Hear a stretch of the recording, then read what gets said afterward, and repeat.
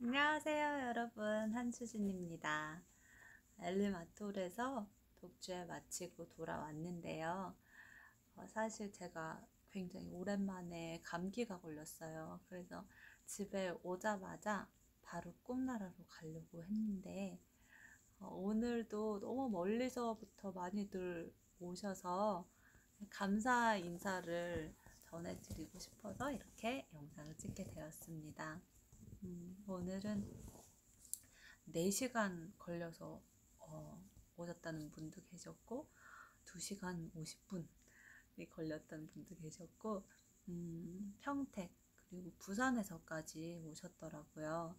부산에서 오신 분들은 숙소를 잡으셨다고 하셨는데 어, 먼 길 와주셔서 너무 감사드리고요.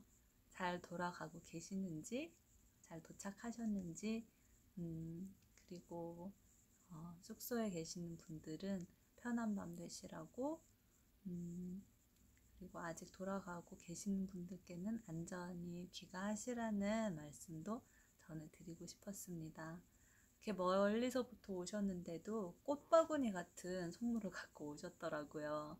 근데 여러분, 제게는 오시는 것만으로도 음, 큰 선물이거든요. 그래서 그거 꼭 기억해 주셨으면 좋겠습니다.